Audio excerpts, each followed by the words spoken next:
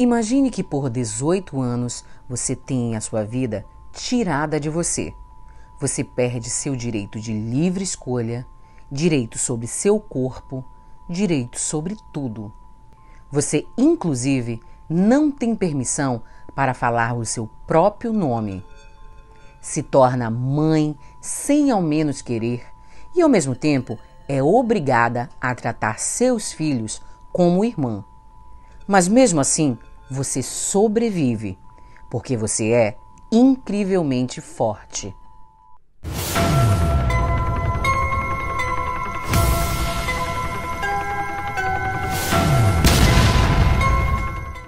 Olá, gente, tudo bem? Eu realmente espero que vocês tenham tido uma semana incrível.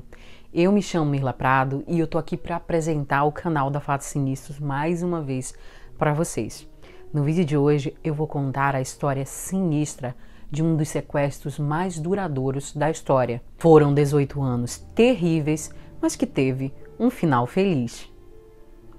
Mas antes de mais nada, eu vou fazer aquele pedido de sempre para vocês. Quem ainda não for inscrito no canal, se inscreve e quem já for e ainda não tiver ativado as notificações, ativa para você não perder nenhum vídeo sinistro a partir de agora. E Obviamente, se você puder deixar seu like logo agora no começo do vídeo, que ajuda muito o nosso canal a crescer, porque nosso canal é novo, a gente está começando agora, e no que vocês puderem ajudar a gente engajando esse vídeo e todos os outros, realmente vai ser muito bem-vindo e a gente agradece demais. Gente, hoje eu tenho uma pergunta que tem a ver com o tema do vídeo de hoje e eu quero saber as experiências de vocês.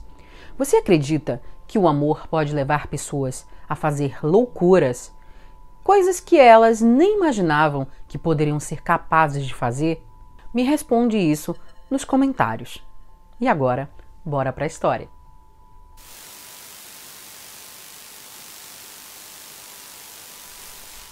Jace Lee Dugard nasceu em 3 de maio de 1980 em Arcádia, Califórnia, filha de Terry Dugard e Ken Slayton.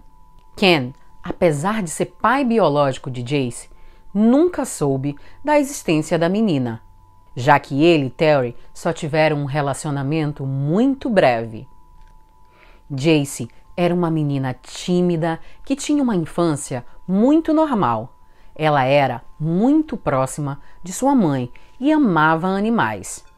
Anos depois, Terry se casou com Cal Probine, com quem teve uma filha chamada Cheyenne.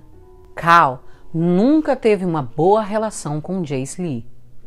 A menina sentia que Cal era muito crítico com ela, mas nunca conseguiu entender o porquê disso. Em meados de 1990, o apartamento da família em Orange County foi invadido. Então, a família decidiu ir buscar um local mais calmo e seguro. O lugar escolhido foi a pequena cidade de Myers, em Salt Lake Tahoe, também na Califórnia. O mais curioso de tudo isso é que a família se mudou para Myers justamente em busca de segurança e tranquilidade, tudo que eles não teriam nos próximos 18 anos. O dia do sequestro. Em 10 de junho de 1991, Jace Lee, já com 11 anos, acordou muito enjoada e, devido a isso, ela não queria ir à escola. Mas, considerando que dizer isso ao padrasto causaria um conflito familiar, ela então decidiu ir à escola, mesmo se sentindo mal. Enquanto caminha para o ponto de ônibus escolar, segundo relatos de seu padrasto, que a observava de longe, direto de sua casa, Jace Lee mal percebe um carro chegando atrás dela e desacelerando. Ela olhou para trás, esperando que o carro continuasse. Em vez disso, o carro parou. A janela do lado do motorista rolou para baixo e um homem começou a pedir informações à menina. Momentos depois, uma vez que estava perto o suficiente da menina, ele disparou contra ela uma arma de choque. Jace Lee caiu no chão e então tentou se afastar rastejando. mas ela não teve sucesso. Foi aí que o homem saiu do carro, a levantou e a jogou na parte de trás do veículo. Cal, ao perceber toda essa situação, pegou a bicicleta e começou a perseguir o carro, que acelerou drasticamente até que ele os perdeu de vista. Em total desespero, o padrasto de Jace voltou para casa e imediatamente ligou para a polícia. E logo, as buscas por Jace Lee se iniciaram. Suspeitos. As únicas pistas que eles tinham naquele momento era buscar por uma van cinza, já que Cal era a única testemunha do fato e não conseguiu identificar a feição do sequestrador. Após várias semanas de buscas sem sucesso e na ausência de indícios da autoria do sequestro, o primeiro suspeito que a polícia levou em consideração foi justamente Cal, o padrasto de Jace. Mas, devido à falta de provas contra ele, a polícia logo descartou de qualquer envolvimento com o que aconteceu. Logo, surgiu um outro suspeito do crime. Foi Ken Slayton, o pai biológico de Jace. Porém, esse não fazia nem ideia que era pai da menina. Assim, a polícia também o descartou. Após as tentativas sem sucesso da polícia na busca de suspeitos, já que não existia mais ninguém no quadro deles, parecia que a polícia estava completamente perdida e também que Jace Lee tinha evaporado. O sequestro. No dia do sequestro, enquanto todos buscavam por Jace Lee, no carro ela lutou e tentou se libertar de todas as formas, mas ela estava sendo contida o tempo todo por uma mulher que lá estava. Ela o tempo todo dizia que sua família não era rica e que eles não tinham dinheiro, mas pagariam resgate caso fosse pedido, mas eles ignoraram completamente seus pedidos. Ao chegar no cativeiro, Jace foi ameaçada que se fizesse algum barulho ou tentasse fugir, as consequências seriam graves. O homem dizia a ela que tinha cachorros Dobermans treinados para atacá-la caso tentasse fugir. Aterrorizada, ela foi levada para um banheiro pelo homem, que trancou a porta e exigiu que Jace tirasse suas roupas. Ela se recusou, então ele a despiu à força, não deixando nada além que um pequeno anel em seu dedo mindinho, que Jace Lee iria guardar durante todos esses anos como a única lembrança física que ela tinha da sua família. Gente, se você tiver qualquer gatilho com abuso, pula essa parte agora desse vídeo. O homem, então, tirou a sua roupa e entrou no chuveiro juntamente com Jace, forçando-a a, tocá-lo. Após o banho, Jace foi algemada e levada para um quarto à prova de som no quintal da casa onde serviu de cativeiro. Esse lugar era usado pelo raptor para gravar suas músicas country.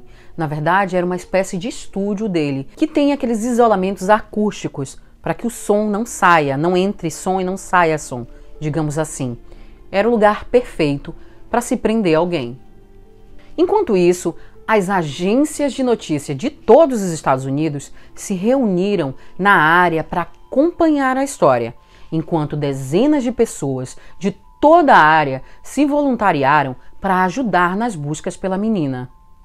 Terry a mãe de Jace Lee sempre dizia na mídia que tinha esperança e que uma hora ela acharia, ela reencontraria sua filha. Jace era apaixonada pela cor rosa e por isso a família ela usou essa cor para poder chamar a atenção das pessoas. O que, que eles fizeram, gente? Eles começaram a colocar ao longo de toda a região onde Jace Lee morava fitas rosas para que as pessoas, ao verem essas fitas, automaticamente se lembrassem de Jesse Lee e de repente pudessem ter alguma prova ou então alguma pista do paradeiro da menina. Milhares de cartazes também foram colocados por todo o país, incentivando as pessoas para darem qualquer informação sobre o paradeiro de Jace. A família, inclusive, começou a prometer uma recompensa para quem tivesse qualquer informação. E para isso, a mãe de Jace criou uma organização chamada Jace's Hope, que servia para organizar os eventos e fazer o levantamento das coisas que eles vendiam. Por quê? Porque a família começou a vender canecas, camisetas, músicas foram feitas para Jace e tudo que era arrecadado com a venda é, desse, de, dessas coisas, as músicas eram vendidas através da. Na época era fita cassete, tá, gente? Então as fitas cassete com as músicas eram vendidas e tudo que era arrecadado seria futuramente usado para pagar quem desse informações sobre Jace. Apesar de todos os esforços da polícia na época e todas as buscas da própria população, a polícia não encontrou absolutamente nenhuma pista de onde estava Jace Lee. Mas o que ninguém imaginava é que Jace Lee estava muito mais perto do que o esperado, apenas três horas do local onde ela havia sido sequestrada. Quem era o sequestrador? O homem era Philip Garrido, um homem de 40 anos que já havia sido acusado de abuso por uma criança de 14 anos. Em 1972, ele chegou a ser preso, mas a vítima, que ficou muito traumatizada, se recusou a testemunhar contra ele. O caso acabou sendo arquivado. Infelizmente, gente, este episódio pode ter influenciado nos 18 anos roubados da vida de Jace Lee Dugard. Um ano depois desse fato, em 1973, ele se casou com uma de suas colegas de classe do ensino médio, chamada Christine Murphy. Christine sabia das acusações contra Garrido, mas ela preferiu acreditar nele, que negou tudo, obviamente. Mas não demorou muito tempo para que a vida de Christine se tornasse um verdadeiro pesadelo. Garrido era um viciado e sempre fazia uso de substâncias. Ele ficava muito violento, e não só verbalmente, tá, gente? Ele também ficava muito violento fisicamente. Além disso, ele tentava forçar a Christine a manter atividades sexuais em grupo com estranhos. Um certo dia, quando Garrido pegou um homem flertando com Christine, ele esfaqueou seu rosto na tentativa de furar o olho dela. Depois disso, ela tentou fugir, mas ele a capturou, tornando isso o primeiro sequestro de Felipe Garrido. Gente, apenas em 1977, Christine conseguiu escapar. Quando Philip foi acusado de outro sequestro e de ter violado outra mulher. Essa mulher era Catherine Calloway, uma mulher de 25 anos. Acontece que Garrido pegou Catherine e a levou para um antigo armazém e passou mais ou menos cinco horas a violando. Um policial que estava passando na área percebeu uma movimentação estranha e foi averiguar o que estava acontecendo ali. Assim que ele entrou no galpão, a mulher conseguiu se soltar e correu em direção dele. Naquele momento, ele viu que a mulher estava nua e completamente histérica. O policial conseguiu conter Garrido, que foi preso e, em seu julgamento, admitiu gostar de assistir crianças em idade escolar do seu carro enquanto ele se satisfazia. Ele foi sentenciado a 50 anos de prisão, mas só cumpriu 11 quando ele foi liberado para a liberdade condicional. E esse entra para a lista como um dos maiores erros da justiça americana. Quem era a mulher que ajudou Philip no sequestro? Durante sua estadia na prisão, Garrido conheceu Nancy Bocanegra, uma mulher que viria a se tornar a senhora Nancy Garrido. Então, gente, vamos saber agora um pouco quem era Nancy. Nancy foi criada como testemunha de Jeová. Ela era uma técnica em enfermagem. Ela era uma mulher muito querida pelos colegas de trabalho, que ficaram totalmente estarrecidos quando souberam o que ela havia feito. Então, voltando à história, o casal se conheceu quando Nancy estava visitando seu tio, que era um prisioneiro na época, assim como Garrido. Ela e Garrido conversaram e acabaram se gostando, vindo a se casar na prisão em outubro de 1981. Sete anos depois, Garrido ganhou a liberdade condicional que já havíamos falado anteriormente. Após ficar livre, Garrido e Inês foram morar na casa da mãe dele, que era uma mulher com demência, o mesmo lugar onde Jace Lee Dugard seria mantida por 18 anos. Gente, a Nancy ela teve realmente um grande papel no que aconteceu com a Jace Lee. Foi ela quem observou a garota dias antes do sequestro. E parece, inclusive, que Jace Lee era uma espécie de presente que Nancy havia dado para Garrido. A mulher, inclusive, fazia tudo para satisfazer seu homem, inclusive ia a playgrounds filmar crianças enquanto fingia estar gravando o marido cantando. Sim, ela fazia isso, gente.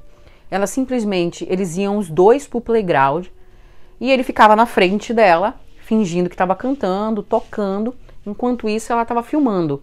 Mas a verdade é que ela não estava filmando ele.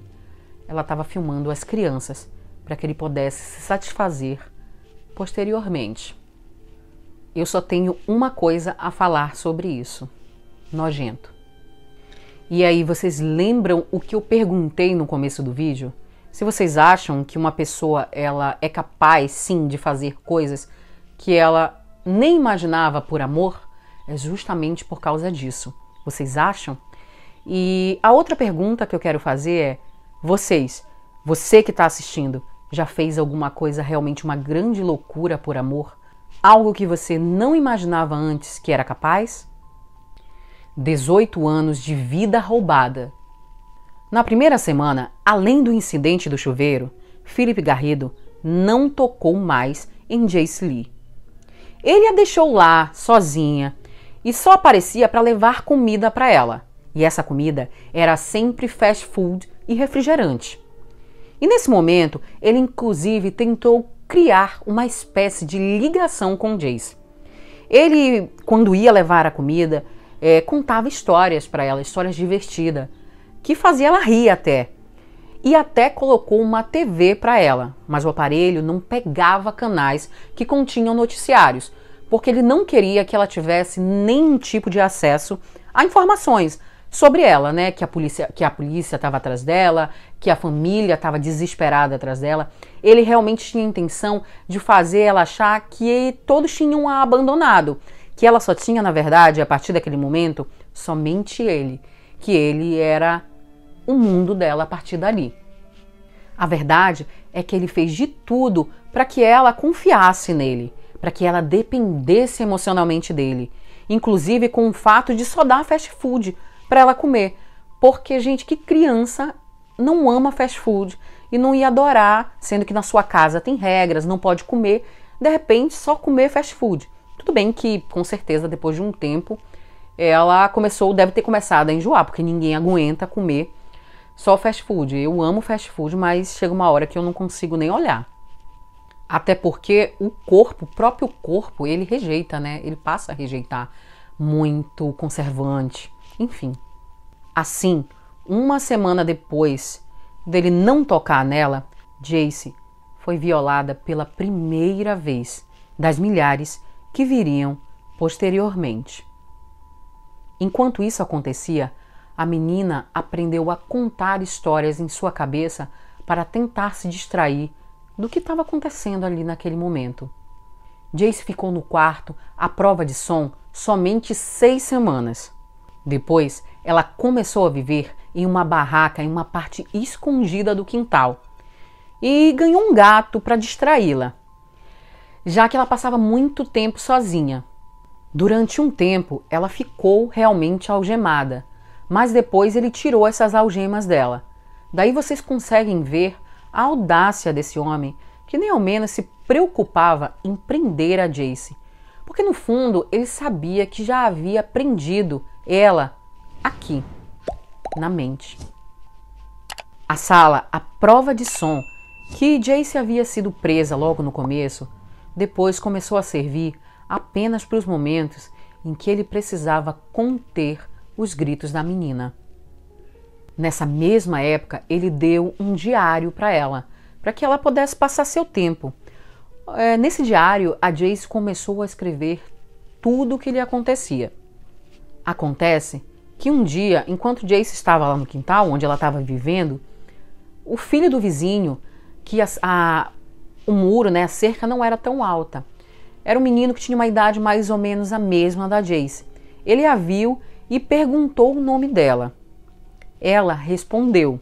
Nesse mesmo instante, Garrido viu aquela situação e foi até lá fora e pegou a menina. Aí ele prendeu a Jace dentro da casa durante um tempo, prendeu dentro de um quarto e, obviamente, a proibiu de falar com qualquer pessoa. Depois disso, Garrido resolveu aumentar os muros da casa para que ninguém conseguisse olhar para dentro. E o que para mim já seria algo muito estranho se fosse um vizinho meu. Não que eu seja fofoqueira, tá, gente? Mas olha só, acho que devido eu ler tanto sobre casos criminais, eu acabei me tornando uma pessoa muito desconfiada. Porque observem, eu moro nos Estados Unidos, então eu sei que aqui é, não temos hábitos realmente de ter muros altos na casa, né? No máximo a gente tem cercas, cercas baixinhas, nada que seja muito voluptuoso, vamos dizer assim. E aí você para para pensar, o que justifica alguém que é um criminoso condenado pela justiça ter uma casa com muros de quase 2 metros, em um lugar que muro nem é uma coisa comum. Mas aí vocês devem estar se perguntando se os vizinhos sabiam que eram condenados. Sim, gente, eles sabiam. Por quê? O Garrido estava morando na casa da mãe dele e ele cresceu naquele lugar. A vizinhança toda sabia quem era a peça. A vizinhança sabia o que ele tinha feito no passado, que ele simplesmente é, já tinha cumprido pena, que estava incondicional. Então todo mundo sabia que não tinha nenhum santinho morando ali. Então, para mim, pelo menos, é de se desconfiar uma atitude dessa. Mais uma pergunta: você desconfiaria? Eu gosto de fazer essas perguntas nos vídeos porque é o momento que eu tenho de interação com vocês. Eu acho que vocês já repararam que eu faço questão de ir nos comentários e responder. É, tá aumentando, graças a Deus, porque o nosso canalzinho tá crescendo, mas eu, eu faço isso com muito gosto mesmo tendo muito trabalho, não só aqui no YouTube, mas também no Instagram, que vocês sabem que a nossa página no Instagram é grande. Na verdade, eu tenho quatro páginas, mas o tempo que eu consigo, eu vou aqui nos comentários e adoro conversar com vocês sobre os casos. Sem falar que Garrido, ele era um viciado. Todo mundo sabia que ele era um viciado, ele tinha crises terríveis, e crises, inclusive, na frente de Jace. Durante essas crises, ele inclusive uma vez teve um acesso dizendo que eram demônios que faziam ele fazer o que ele fazia com ela. Desculpa por tantos fazeres, mas a gente precisa evitar falar tanto algumas palavras por aqui. Eu acho que vocês entendem, né? O algoritmo fica de olho. Então, quanto menos a gente falar algumas coisas, melhor. Ele inclusive dizia para Jace que ele era um enviado de Deus, um escolhido de Deus, e tinha uma missão aqui na Terra, que para mim é zero novidade, que a maioria desses psicopatas geralmente utilizam esse pretexto, ou não sei se eles são tão narcisistas que se acham no fundo muito especiais. E ao mesmo tempo que ele falava essas coisas, ele também pedia desculpas a ela pelo que ele fazia. É, mas logo depois ele fazia ameaças a ela, dizendo que iria vendê-la para pessoas que dariam uma vida ainda pior do que ele a dava. E essas pessoas iriam colocá-la dentro de uma gaiola. Somente meses depois do sequestro, Jace soube quem era a mulher que havia ajudado a raptá-la. Nancy, para ganhar confiança da menina, levou um bicho de pelúcia e um milkshake para ela, para elas se conhecerem. Assim como Garrido, Nance também pediu desculpas a Jace Lee. Eles tentavam fazer a menina acreditar que sua família a odiava e que suas únicas pessoas no mundo eram os dois, que eram as únicas pessoas que se importavam com ela. A verdade é que Jace desenvolveu sim alguma dependência do casal, mas no fundo ela tinha total ciência que eles eram pessoas mais, mas não só pelo sequestro ou abuso que eles faziam com ela, mas também porque Nancy, ao mesmo tempo que a tratava como filha, é, logo depois a maltratava muito, a tratava muito mal, tudo movido pelo ciúme doentio que ela tinha da menina. Então, para evitar que Nancy se irritasse com ela, Jace Lee fazia tudo o que eles queriam. Em abril de 1994, três anos depois, algo fora do comum aconteceu. Jace foi convidada finalmente para jantar com os Garrido dentro de casa. Pela primeira vez durante esse período, a menina finalmente comeu uma refeição normal. Então, quando a esmola é muito, o santo desconfia, o casal finalmente mostrou o porquê de tudo aquilo. Eles disseram à garota de 13 anos que acreditavam que ela estava grávida. E ela realmente estava. Em 18 de agosto de 1994, Jace Lee teve sua primeira filha, com a ajuda apenas de Garrido e Nancy, e em condições completamente precárias. Três anos depois, em 1997, ela engravidou novamente e deu à luz a sua segunda filha. Conforme as meninas iam crescendo, Jace ia as educando como podia, já que ela também era apenas uma criança, né, gente? A TV era a sua primeira, era a sua principal fonte de educação. Tudo que ela via na televisão, ela tentava repassar para as meninas. Mesmo depois de dar à luz as duas meninas, as três continuaram vivendo de forma insalubre naquelas barracas que tinham no quintal, que era um lugar completamente sinistro, cheio de árvores muito grandes que deixavam o local completamente sem visão e muito escuro, sem falar no lixo que tinha naquele local, que era muito. Também, depois do nascimento das meninas, Nancy obrigou Jace Lee a chamá-la de mãe e a instruiu a dizer para as meninas que elas eram irmãs dela e não mãe, sendo no caso a Nancy a mãe das três. Nessa mesma época, os Garrido uma vez pegaram Jace assinando seu nome no diário. Quando eles viram isso, eles ficaram completamente irados e a forçaram a rasgar todos os lugares onde tinha seu nome e a escolher um novo nome. Jace Lee pediu um tempo para escolher. Depois de alguns dias pensando, Jace falou ao casal que queria se chamar Alissa. Com o desenrolar do tempo, os Garrido começaram a confiar mais em Jace Lee. Então, ela começou a trabalhar com Garrido em sua loja de impressão. Jace, lá, falava com os clientes de vez em quando e tinha acesso total ao telefone e ao computador, mas por medo ela não fazia absolutamente nada. Trabalho mal feito da polícia. Gente, a história de Jace Lee começa a se tornar mais sinistra ainda quando percebemos quantas vezes a polícia cometeu erros grotescos nesse caso. Olha só do que eu estou falando. Antecedentes criminais. Felipe Garrido, como já era condenado, ele estava na lista dos criminosos sexuais e deveria ter sido investigado quando Jace Lee desapareceu, pois ele morava na região. A van amarela. Em 22 de abril de 1992, menos de um ano após o desaparecimento de Jace Lee, um homem entrou em contato com a polícia para dizer que viu a menina em um posto de gasolina, olhando para o seu próprio pôster de desaparecida. Ele também disse que a garota estava em uma van amarela. A polícia demorou muito para chegar até o local. Assim, a van obviamente não estava mais lá. Gente, a verdade é que também a polícia não investigou de quem era a van. Se tivesse investigado, provavelmente chegaria até Garrido, que era dono de uma van amarela. Visitas policiais. Em 2006, um vizinho de Garrido chamou a polícia para dizer que o quintal dele estava cheio de barracas e que crianças foram vistas dentro delas. O vizinho ele subiu o muro para olhar, gente. Ele também afirmou que Garrido era um usuário de drogas ensandecido.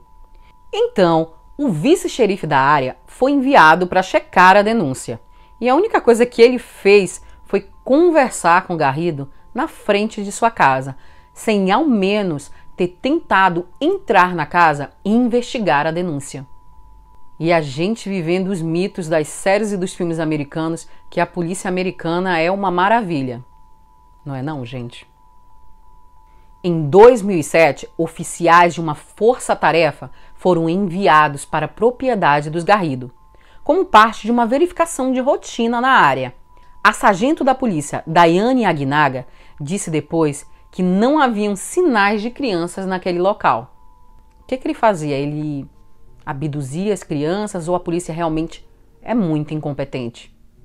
Sem falar nas visitas feitas a casa de Garrido por oficiais da condicional, que foram visitas muitas que foram feitas durante 18 anos, gente. Foram muitas visitas feitas e nunca perceberam que existiam crianças ali.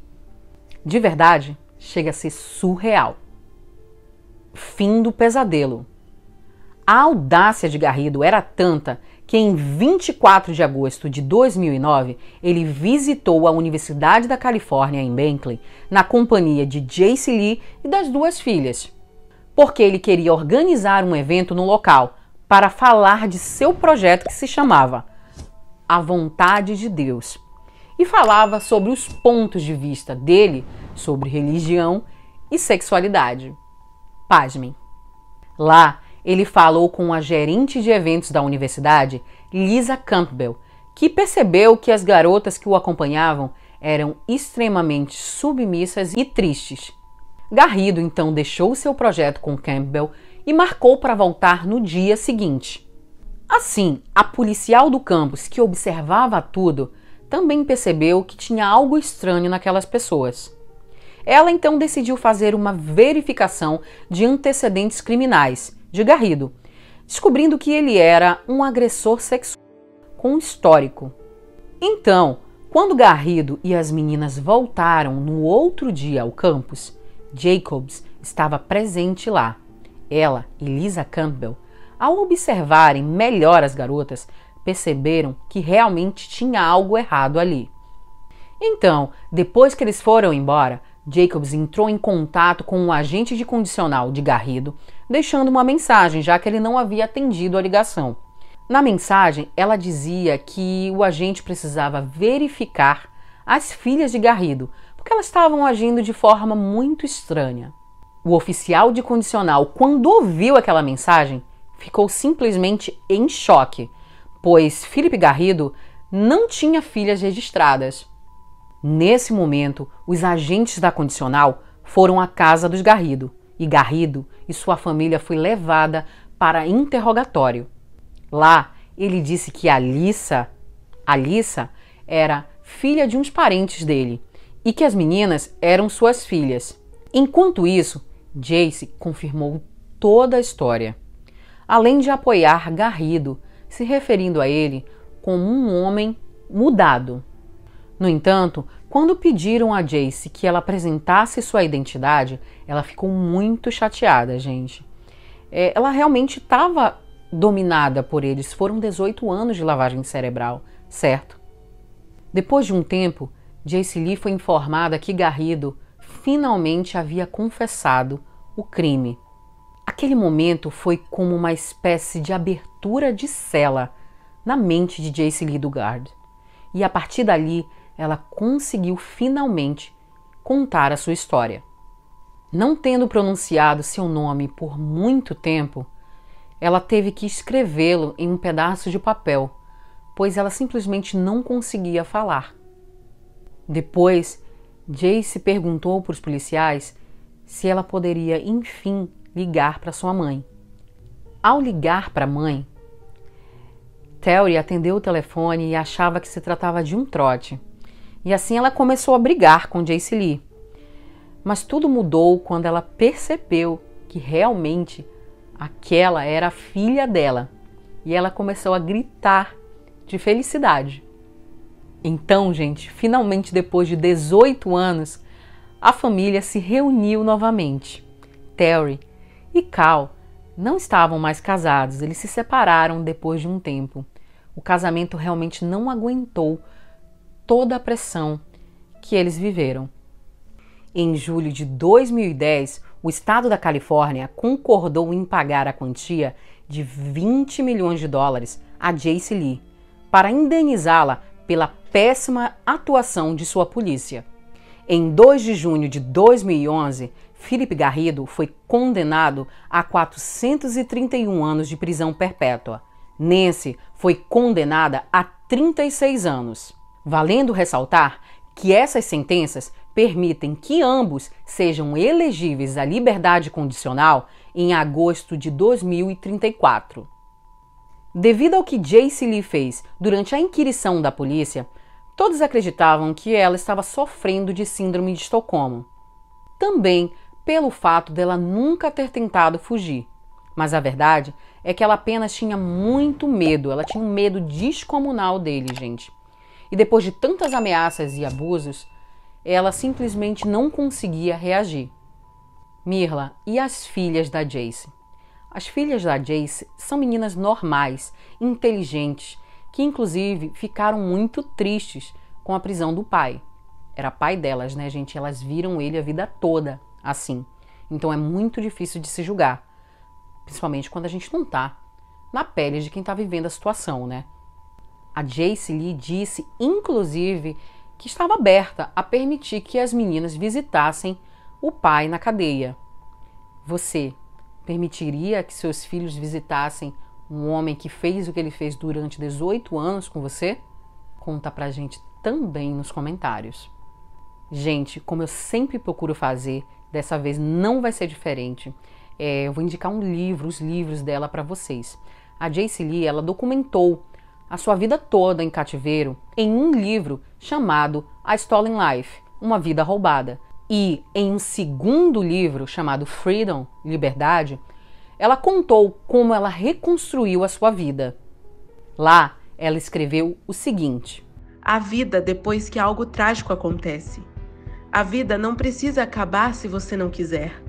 Está tudo na forma como você olha para isso.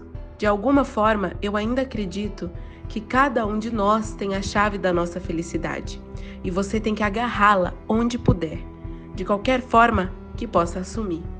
Gente, o que me impressiona muito é como mulheres que sofreram tanto conseguem de alguma forma, de uma forma fenomenal, reconstruir as suas vidas e ainda assim incentivarem outras pessoas a vencerem seus traumas e mostrar que elas também podem ser felizes.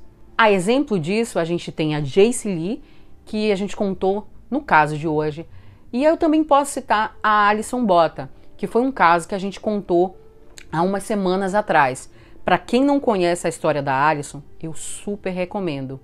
É realmente uma história muito forte, tá? Não é para todas as pessoas, mas é uma história incrível. Fica a dica. Então, para quem quiser conhecer a história da Alison, eu vou deixar nos cards finais aqui desse vídeo. É só clicar. É isso aí, gente. Esse foi o caso sinistro de hoje. Eu espero realmente que vocês tenham gostado e até semana que vem.